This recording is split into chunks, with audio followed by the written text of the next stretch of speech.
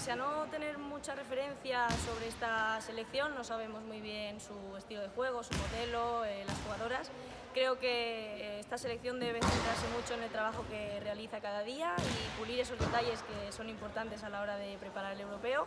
Y nada, con muchísimas ganas e ilusión de, de poder trabajar, de poder aportar ese granito de arena que creo que puede venirle bien al equipo y muy contenta, claro es, muy intenso, estamos haciendo doble sesión casi todos los días y la verdad es que estoy viendo al grupo que está respondiendo muy bien, estamos haciendo un trabajo muy bueno y creo que estamos en una línea, una línea muy buena de cara a esa preparación.